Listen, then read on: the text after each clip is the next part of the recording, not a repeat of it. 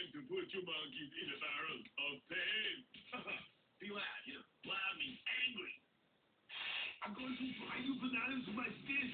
I eat chips like you for breakfast.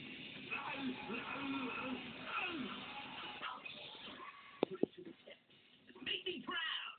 How about I make you a knuckle sandwich instead?